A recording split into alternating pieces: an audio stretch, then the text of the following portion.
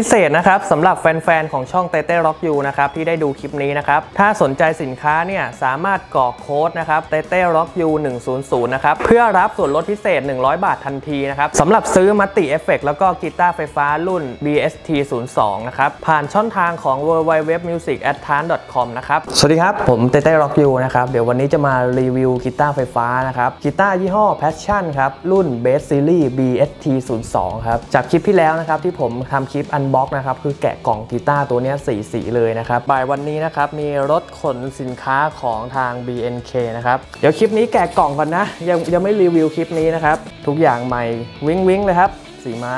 ถ้าใครยังไม่ได้ดูก็ลองย้อนไปดูได้นะครับเดี๋ยวเราจะมาทวนสเปคในคลิปนี้อีกทีนะครับสำหรับกีตาร์ Passion รุ่นนี้นะครับ body จะเป็น basswood นะครับแล้วก็คอเป็นเมเปิลนะครับแล้วก็แปะด้วย fingerboard rosewood นะครับเป็นคอดำครับสำหรับ bridge นะครับจะเป็น tremolo นะครับใส่คันโยกได้ครับแล้วก็ปิกอัพจะเป็น 2 single coil ครับ1 humbucker นะครับ สวิตช์ selector 5ทางครับ1 volume 2โทนนะครับอ่าแล้วก็มีทั้งหมด 4 สีนะครับตัวนี้นะครับก็คือมีสีขาวนะครับมีสีดำมีสีไม้แล้วก็สี sunburst นะครับอ่าส่วนตัวที่ผมเลือกมานะครับผมเลือกเป็นสีขาวมาลองนะครับ test รีวิวครับเดี๋ยวผมจะลองเล่นเป็นเสียง clean ก่อนนะครับโดยจะเล่นสวิตช์ selector นะครับทั้ง 5 ทาง โดยผมจะเล่นเสียง clean เพียวๆเลยครับยังไม่ใส่ effect delay reverb chorus ใดๆทั้งสิ้นนะครับส่วนการอัดนะครับผมก็จะต่อจากตัวกีตาร์เนี่ยยิงตรงเข้า Audio Interface เลยนะครับผมเดี๋ยวก่อนอื่นนะครับ ขอเช็คปุ่มโทนก่อนว่าปุ่มโทน 2 โทนนี้ควบคุมตัวไหนบ้างนะครับ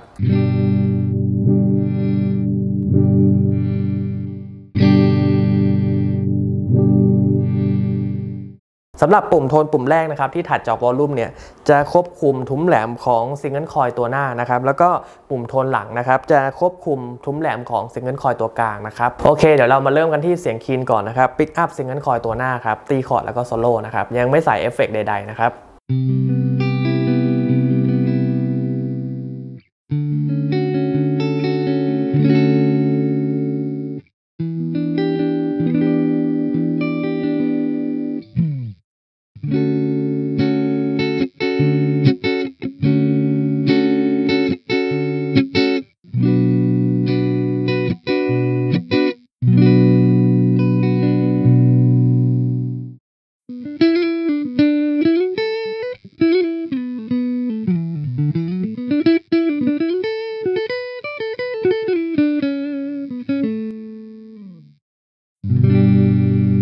อ่าต่อไปมาดูกันที่แก๊กผสมนะครับซิงเกิลคอย2ตัวครับ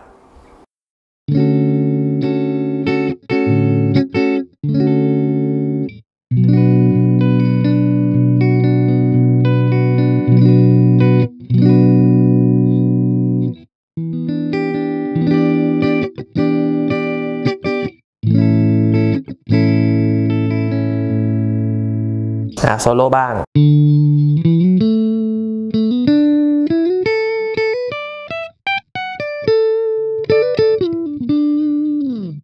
อ่าเดี๋ยวต่อไปมาดูกันที่ single coil ตัวกลางครับ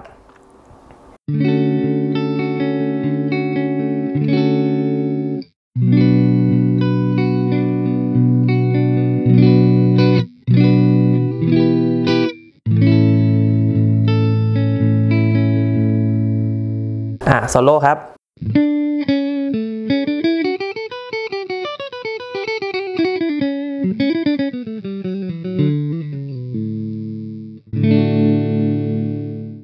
ต่อไปมาที่ตัวกลางนะครับ single coil ผสมกับ humbucker ตัวหลังครับ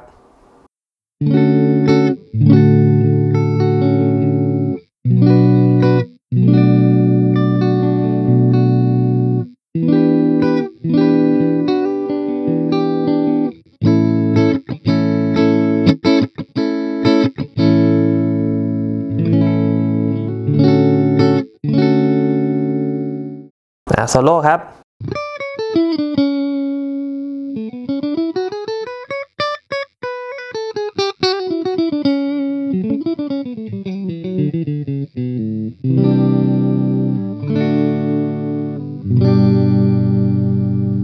ต่อไปมาที่ humbucker ตัวหลังครับ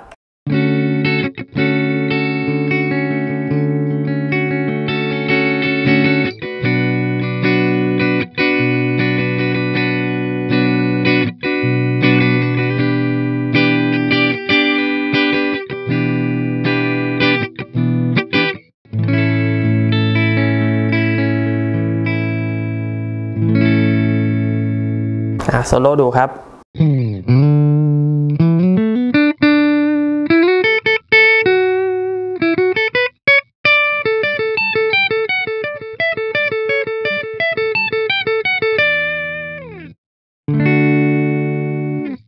ผัสฟิลลิ่งนะครับ คือค่อนข้างที่จะเหลาเฟดเหลาอะไรมาดีนะครับ แต่ว่าเฟดไม่มีคมไม่มีบาดอะไรนะครับ เวลาเราเล่นสไลด์แบบเนี้ยอย่างเงี้ยถ้าเป็น fret ที่คมๆนะ มันอาจจะบาดหรือว่าอาจจะไม่ไหลลื่นอะไรเงี้ยแต่นี้มันก็ไหลลื่นดีไม่ว่าจะเป็นสาย 6 หรือสาย1นะครับช่วง fret ช่วงเนี้ยนะครับ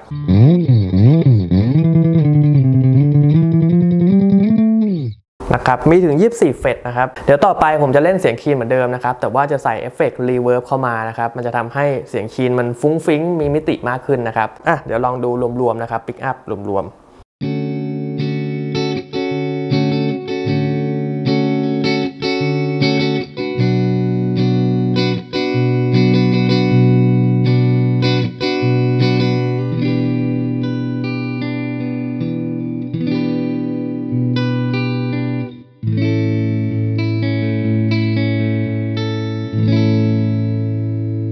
โซโล่ดูบ้างครับผม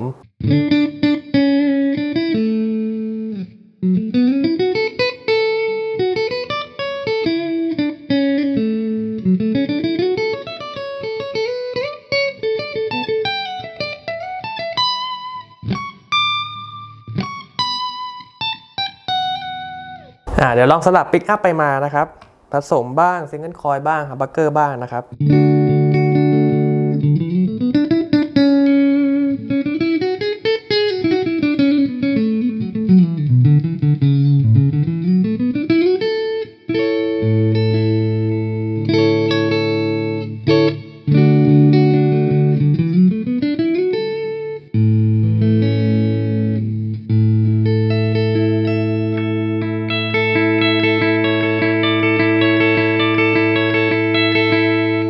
อะ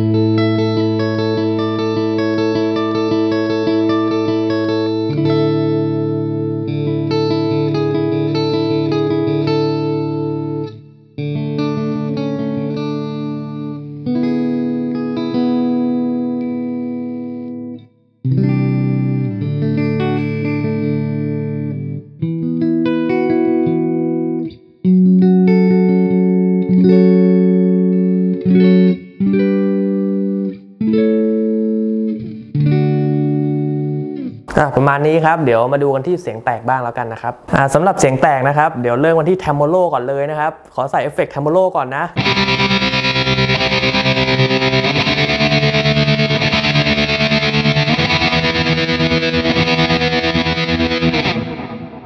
โอเคนะครับ เป็นสไตล์ผมนะ จะชอบใช้ tremolo อะ เดี๋ยวต่อไปเล่นเสียงแตกปกติแล้วนะครับ ก็จะเล่นสวิตช์ selector รวมๆนะครับ แล้วก็จะใส่ effect reverb ด้วยนะครับ delay ด้วย อะทีนี้ ใส่2เอฟเฟกต์เลยนะครับ จะได้มีมิติมากขึ้นนะครับ ลองเล่นดูครับก็จะมีเทคนิคด้วยต่างๆ การดันสาย การใช้สวีปการใช้แท็ปปิ้งอะไรนะครับ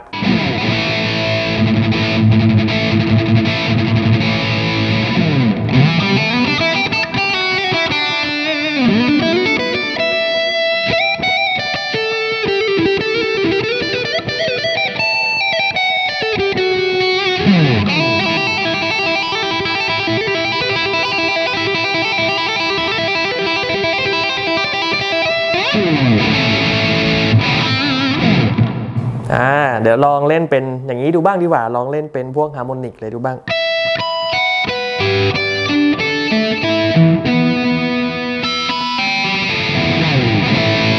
อ่าลองเล่นอะไรแปลกๆดูบ้างรีวิวไปเรื่อยๆนะครับอ่าลองเล่นเป็นเพลงทั่วๆไปอะทุ้มอยู่ในใจมา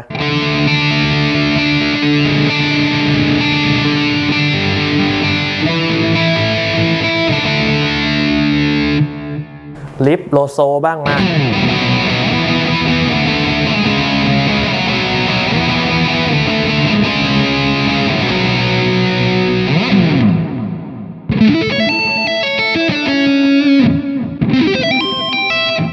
ต้องระวังหลงนะ เพราะว่ากีตาร์มี 24 เฟสส่วนใหญ่ผมเล่น 22 เฟสนะครับ อันนี้มัน 24 เฟสก็ต้องแบบดูดีๆ เวลาแท็บผิด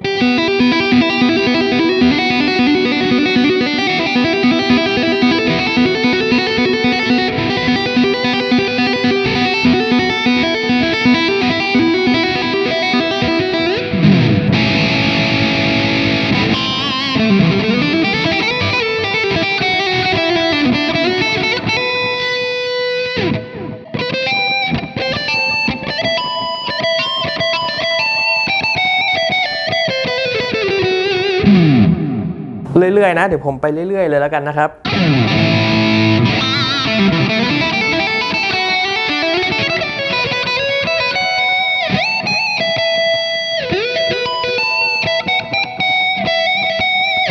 เออลองเล่นเพลงตัวเองดูบ้าง ตั้งแต่รีวิวมาต้นคลิปยังไม่ได้เล่นเพลงตัวเองเลยเนาะ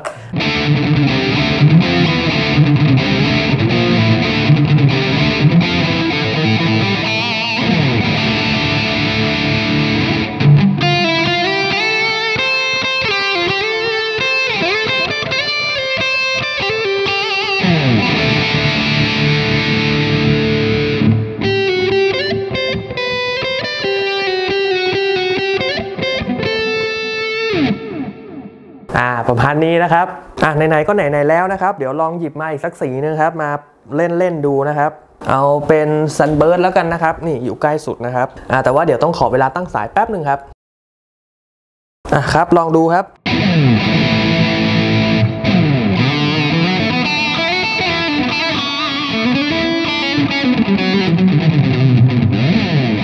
ประมาณนี้แล้วกันนะครับผมยังไงถ้าใครสนใจนะครับก็ลองติดต่อทางร้าน BNK ได้เลยนะครับซึ่งราคาก็สุดคุ้มมากๆครับราคาก็คือ 2,490 บาทนะครับเดี๋ยวช่วงท้ายนี้นะครับเดี๋ยวผมจะลองนำทุกตัวมาแบบโชว์สีให้ดูนะครับแบบชัดๆ ใกล้ๆกันเลยนะครับอะเริ่มที่ตัวนี้ก่อนนะครับสีซันเบิร์ดครับแล้วเดี๋ยวจะมีเพลงประกอบนะครับมา